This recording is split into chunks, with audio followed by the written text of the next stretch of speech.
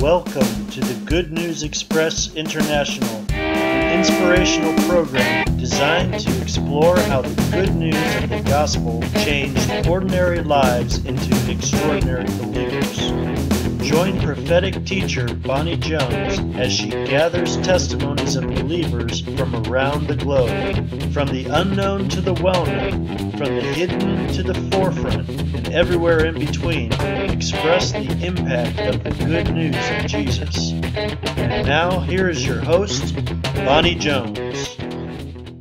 Welcome to the Good News Express, where everyone's testimony is important because the work that the Lord has done through you the world needs to hear because no two people's testimony is the same. We may be similar, but not exactly the same. So today we have Christopher Martin with us, and we want to hear what the Lord has done in his life. Um, there's so many things. Chris and I have known each other for a period of years, but I don't know all the nitty gritty details. So today you're going to get to share them with us as we hear the good news through Christopher. So, why don't you start by telling us um, when you first came to know the Lord and uh, how the people around you, uh, maybe they introduced you to the Lord, or maybe you got saved in, in church or on the street or in the grocery store. Who knows? What's your good news, Chris? What story have you got for us? Well, first off, thanks so much for having me, Bonnie and Lyn, and thank you for for what you're doing. I think it's awesome, and I think it's a, a real need in the body of Christ to to reveal uh, so many different testimonies to encourage people. I think uh, during these days, we definitely need the encouragement. So thank you so much. Um, yeah, so I actually was uh, saved. My dad became a Christian first. I was um, originally when I was young a, a, Catholic. You know, I did all the all the good stuff, and I was a little uh, altar boy, and have pictures of me falling asleep, uh, uh, you know, doing that job. And and I actually before that, after that, I became a Mormon, and um, really? I was really yeah, I was really good in the Mormon church. I had memorized. I had the whole sleeve of badges of of all the stuff. Yeah. Uh, so it's been quite a quite a journey. Uh, uh, and uh, when I was about 14, my dad became a Christian several years before me, and and he obviously ministered and shared with all of us. Um, and uh, so I was about 14 when I became a Christian. I, I would say maybe a little younger, actually, um, maybe maybe 12, 13, something in that range. Um, got involved with the church. He he's been a pastor uh, finance minister for uh, Casas Adobes uh, was Baptist Church back then uh, in Tucson, Arizona, for for years, and uh, so he's had an interesting journey, and you know, uh, shared the good news with me, and and I became a Christian, and um, it, it, was around I was around fourteen when I went to a church um, meeting, you know, camp meeting or something that the Lord had called me into into ministry, um, and I come home and I talk to my parents about it and everything. So yeah, that's, that's when this, uh, this whole journey started. But uh, you can see from very young, it was, uh, uh you know, the, the Lord was, was working on my heart all the way through all that time. Right. Now you said like at 14, did you, did you hear the voice of God? Was it the inner, you know, the still small voice? You said he called yeah. you into ministry. Like, how did that? How did you? Yeah, it, it's interesting. It, it, was, it was, it was like you said that that that small voice that you know. I want you to do this. Okay, mm-hmm. and you know the, the interesting part is is now I had no idea what that request was at 14. yeah. You know. Yeah. Yeah. And and for years I was trying to to meet that request in the way that I understood it. Um, right. only to find out now it's it's very different than what I anticipated. yeah. Yeah, yeah, he cons us, I think. yeah, he does. I, I, I joke with my son. I said, "Hey, if the Lord asks you to go into ministry, say I, would prefer door number two. yeah. yeah. oh gosh. Okay. So, uh, so you knew at a young age that you were called into ministry. Then, how did that begin, and what did yeah, you walk so, in since that time? Oh, my walk's been uh, I would say for the most part, uh, I was very dedicated to the Lord, uh, very de- you know focused I, I would study I'd, I'd memorize uh, you know I'd done so many Christian things with the church. You know back then the, the church was was you were really as, as a youth you were really involved in the church and and really doing stuff in the youth groups and stuff. And I'm not sure if they're doing it quite as much as they did back then but it was that was the highlight of your life. You know you went to all that stuff. Mm-hmm.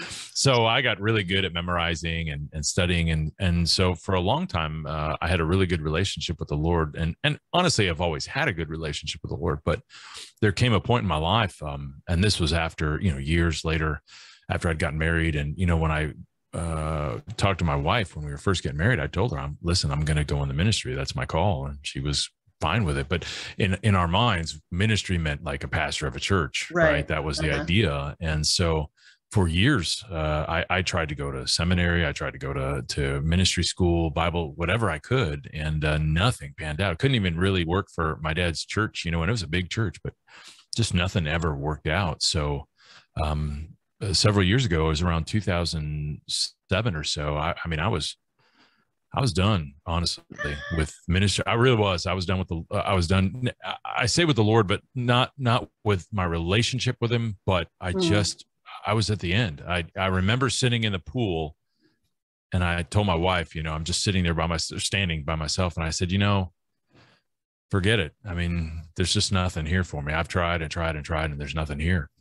So that was all your fleshly efforts. It was everything. Yeah, it was. Yeah, it was my fleshly yeah. efforts, and so and, it was your will, but not necessarily. I mean, you were trying to do His will, but in your way. In, in my way and my timing. I, I yeah.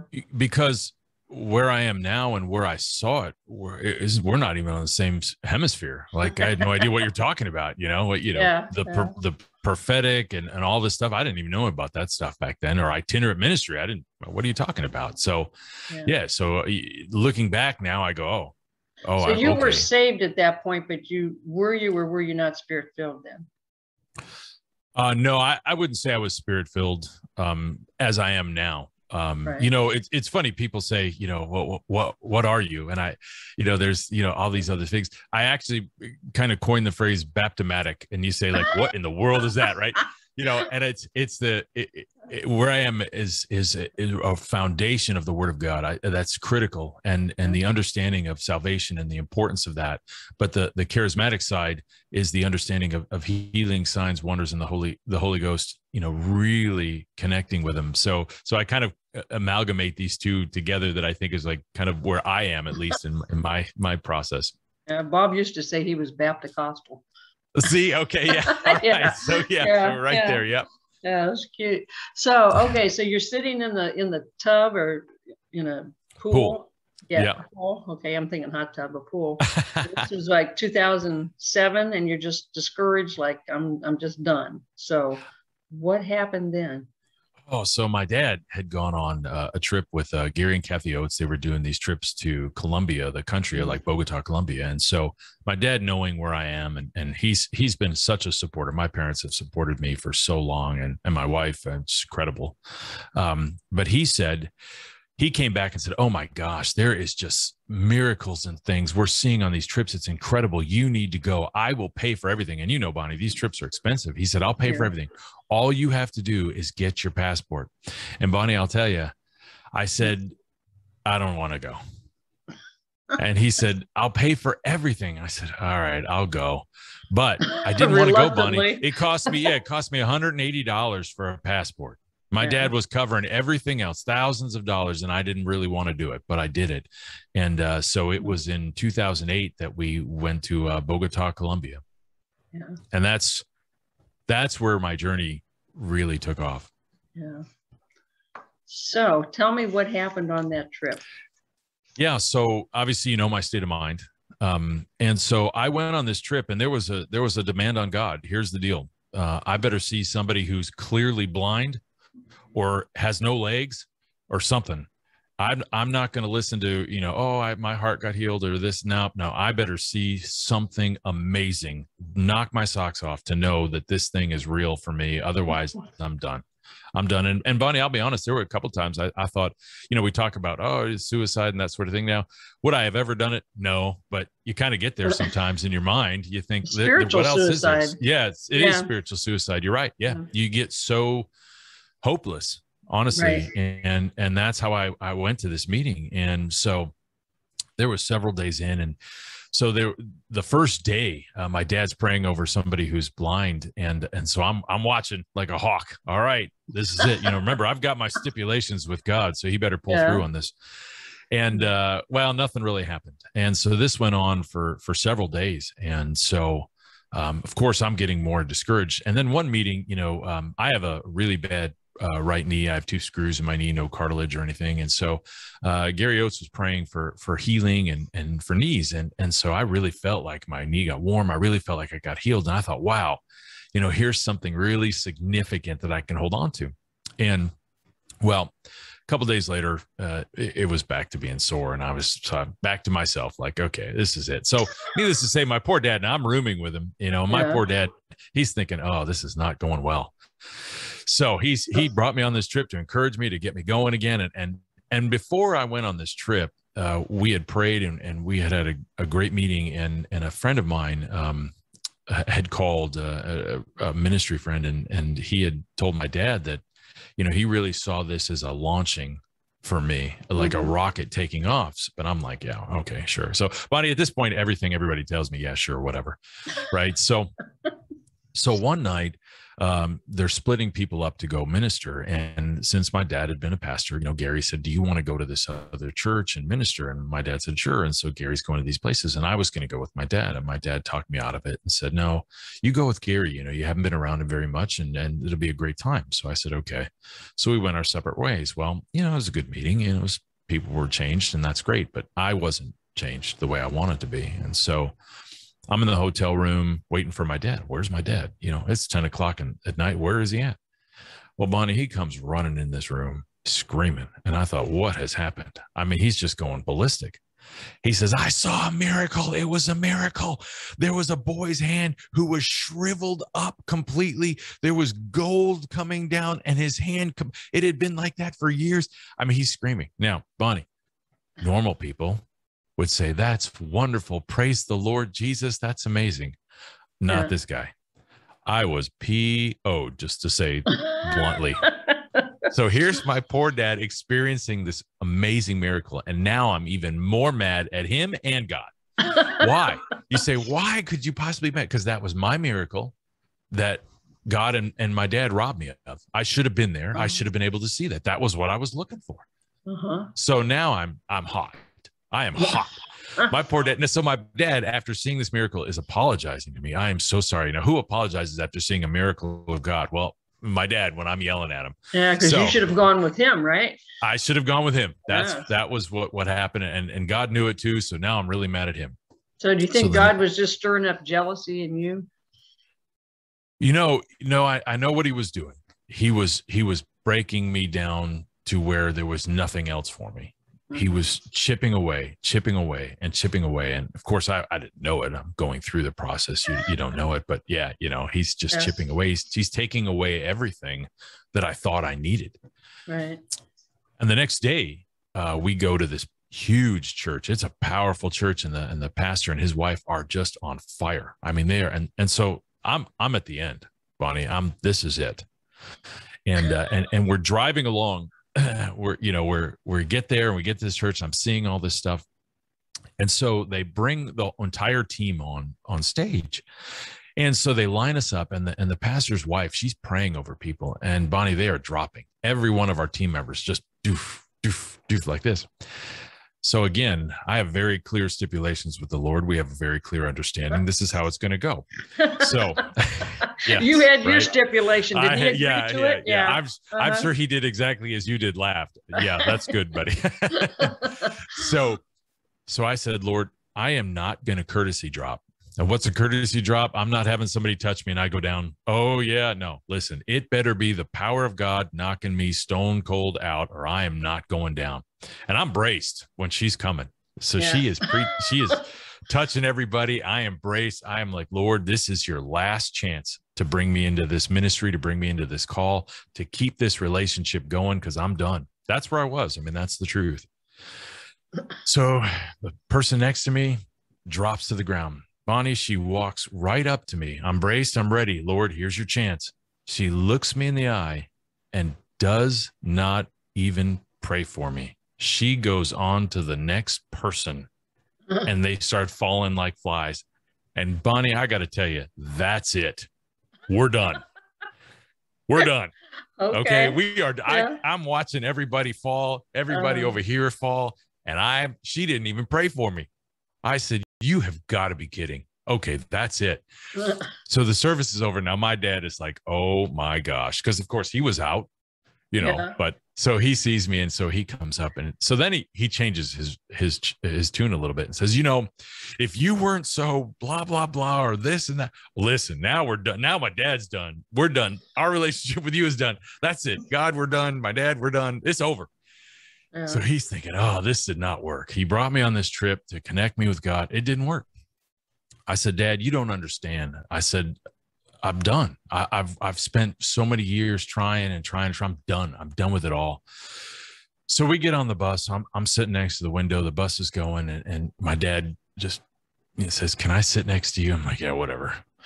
So he's, you know, th- that's just the truth. And you can ask my dad. I mean, he'll tell you it was it was rough.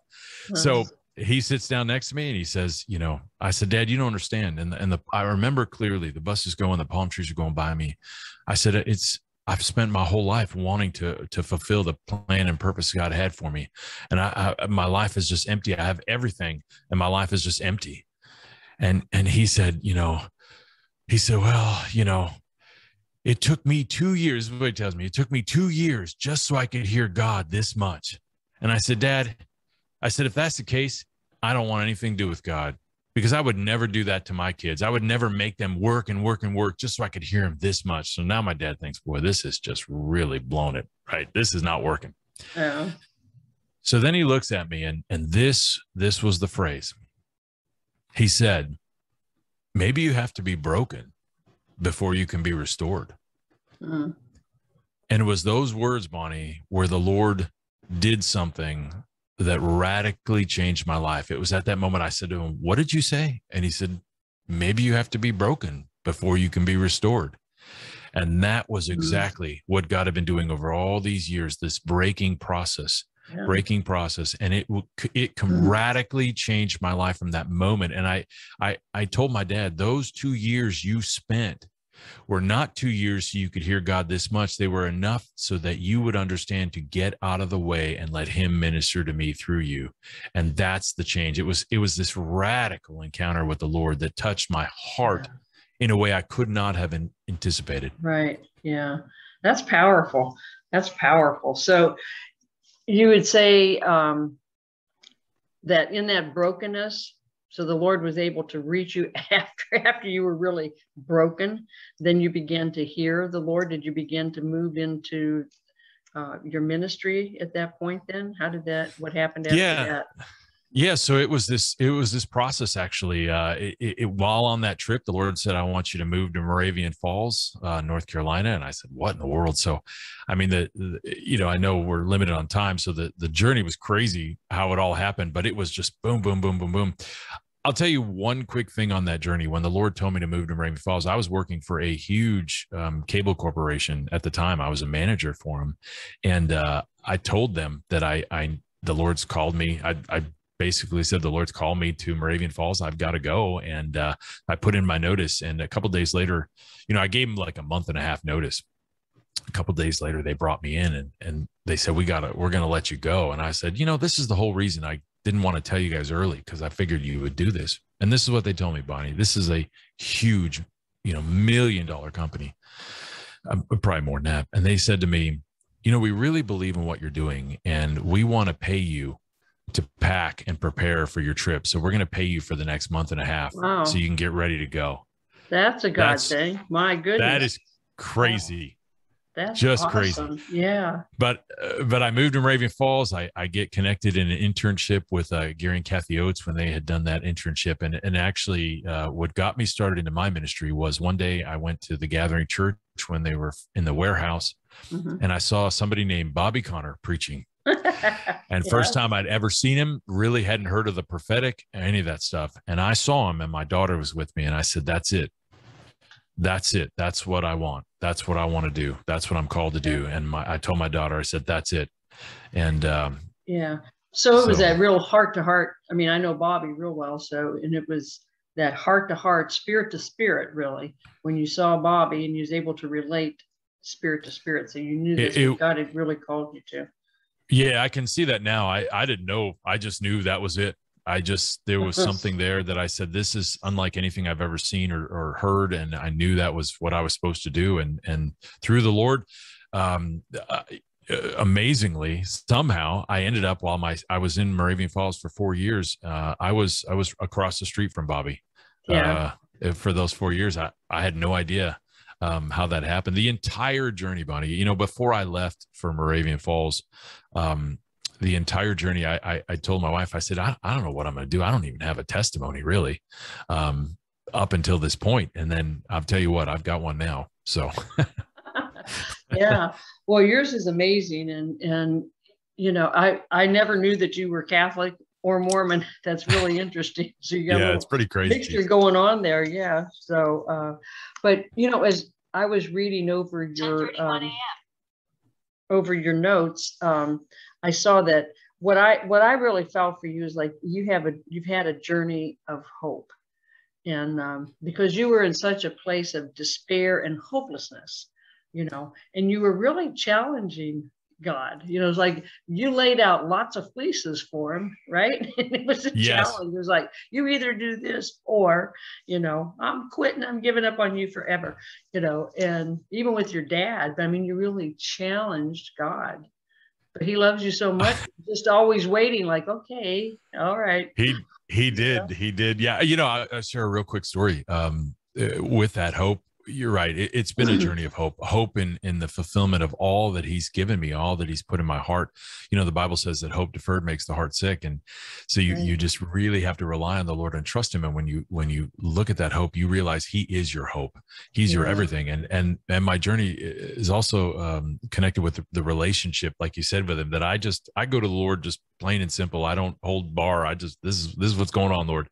But you know, the Lord had given me, you know, in my in my article with you, um, the Lord had given me Isaiah 41:10 as my life verse, and He'd given it three separate times, just amazing times. Um, he gave it to me, and and uh, the last time He gave it to me, I, I was at a at a ministry meeting with Bobby, and we were doing all this stuff, and I said, Lord, I said, I know you've given me this this verse three different times, and I appreciate it, and it's awesome. But if I could have it one more time, unlike anything I've ever had it. And I, and I, you know, talk about my, my conversations with him. I said, I, I, don't want somebody just coming up and saying, Oh, here's your verse. I don't want a piece of paper. I want something totally unique. And lo and behold, uh, I'm taking Bobby. The conference is over. Nothing happened. And I even apologized. I said, Oh Lord, okay. You gave it to me three times. Thanks so much. You know, I appreciate it. Sorry for asking, you know? Yeah. So I'm I'm supposed to take Bobby to the to the pastor's house to finish up this this conference, and we're going to go home. And uh, my GPS gets lost. About 15 minutes, we're driving around, and I'm embarrassed. I said, "Oh, this is terrible," you know. And so it finally corrects itself, and I and I get behind this car, and we're going to turn left. And Bonnie, on the car, the bumper sticker read Isaiah 41:10, "Fear not." Oh my god! And I went, Oh my gosh. It took me a minute to recognize the Lord had answered my specific request specifically and perfectly in that way. Yeah. It was it was amazing. So my relationship with the Lord is very I, I just I talk to him, you know, and and yeah. interact with him. Yeah, that that's it. I mean, that's part a big thing for you. You said if you could wrap up your testimony, you know, sum it up in one word, it's relationship. And that's so vital. I mean, we we you know, I can't count on you to have a relationship. You know, I I need my relationship with the Lord. You know, that's right. Each one. I know when I was a good Baptist, I thought that it was up to the preacher. You know, he's supposed to teach me and you know whatever, and that was his job. He went to school and learned, not me. I was just there to listen. That's right. Yeah. yeah. But no, it's all about relationship. It's our individual relationship with him. So, but you know what, uh, Christopher, could you just um, release a word for those who are listening or watching and and just a, a, word of hope for those who are like in that place of despair or hopelessness you know that just to encourage them. I mean i know your testimony does but i think you have a, a word to release that will really uh, impact their hearts. Yeah absolutely i will. God god is waiting waiting to to relate with you, to talk with you, to to to share with you, to minister to you. That that's what this whole thing is about. All that we're doing the the studying of the word of god is so that we can connect with him that is what he wants to do with us he wants to have a relationship that's first and foremost above all else and it's from that relationship that you'll start to have the freedom to be able to move and operate in what god's given you to do it isn't about the destiny. It isn't about what you do, what you accomplish. It's about relating to Him and connecting with Him. And if there's one thing I've experienced with the Lord over all these years, and in my despair and my desperation, the, the very thing that I thought I needed signs, wonders, miracles, any of that stuff it wasn't those things. It was to know God loves me and he cares about me and he wants to be involved in my life. And that's the key here. That's that's the message for anybody that's in a desperate state that wonders does god love me? The answer is oh yes he does. You know the the amplified classic says in john 3:16 for the for god so dearly loved and highly prized the world we need to really understand how much he loves you. And that's the message for the people is have that relationship first. Don't worry about the other stuff. Don't worry about the details. Have a relationship with him. Otherwise what are we doing? What's the point of all this? Yeah and and you know our relationships he meets us where where we are and speaks to us in the way that we understand you know i mean i know you hear from the lord i do you know bobby conner you know all of us do. We can all hear the voice of god but he speaks to us in the way that we can understand. Yes. So yes that, and he and he wants to talk with us. Yeah you know what like bobby he'll say god says to him hey boy. Yeah. You know he's never said that hey to me right. you know but that's their relationship you know? That's right. So that's i mean right. and i think that's cute because i'm like really? God says that but he does you know? I mean it's how he relates to bobby. I like that. That's right. Yeah so, and he, he he gives us that's it's the individuality. That's who we are to him. Yeah. We're we're although we're one body we're still separate people. And Absolutely. he wants to relate as you want to relate with him as you connect with him as you hear him. And I, I, think that's really a key going forward is so many times we we become like the israelites. Oh moses you go talk to god yeah. and come back and tell us what he says. And that's why we have so many christians lacking faith lacking hope lacking trust because we don't have the relationship. We're looking to somebody else to have that relationship for us and it will never work. Yeah. True. True true true. You are right on uh, okay, Christopher, you your ministry is called Voice to the Nation. Yes, Voice plural, to the Nations. Plural yes, nations. nations. Yep, yes. Yeah. Okay. So if somebody wants to contact you, like for uh, just to learn more about your testimony, or maybe for speaking engagement or counseling or whatever, uh, where would they contact you at? Yeah, they can just use my email, which is Christopher at voicetothenations.org. org. Okay, very good.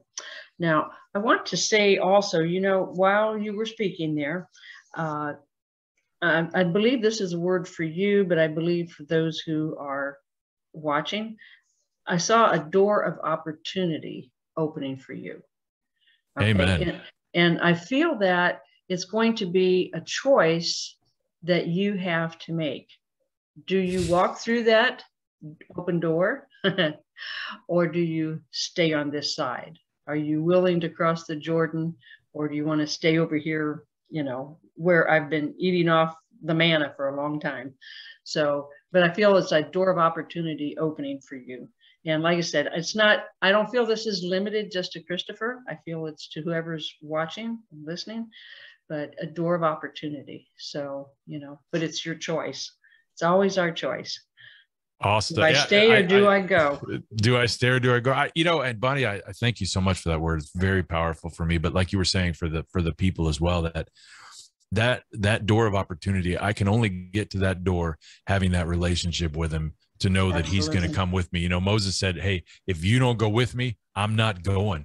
Um, you know, one quick note on relationship. I, I think of remember when when David sinned with the Lord, uh, and and and and the Lord uh, punished him something I read in there that was so significant to me about the relationship David had. Remember, David was a man after God's own heart. Mm-hmm. The Lord said, "I'm going to give you three options. Oh, you pick your your your punishment." Wow. And and I thought, wow, that's relationship.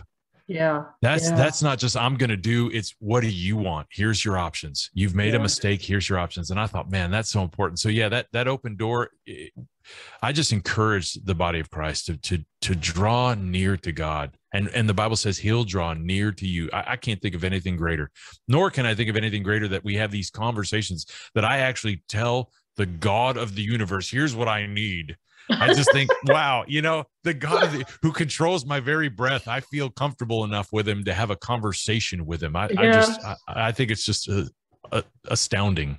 You know what? I do like, I'm going to say almost every night. Sometimes I just fall right to sleep, but usually, like, I, I start a conversation with the Lord and I'll say, well, you know what? I mean, I always tell them like I love them that, and then I start with, well, you know what? It's like a recap of the day, and I'm like, why do I do that? Because you already know. like, like I'm going to tell him something he doesn't already know, but I want to just give him my recap and like what I felt was going on or whatever. What was happening? I, yeah. I one quick story. I know I keep telling you I'll let you go, but I I was playing racquetball with a friend of mine, and we were we were playing. It was a great game, and my friend said, "What's the score?" And I said I don't remember. And the Lord said, Oh, it's this. And I said, Oh, it's this.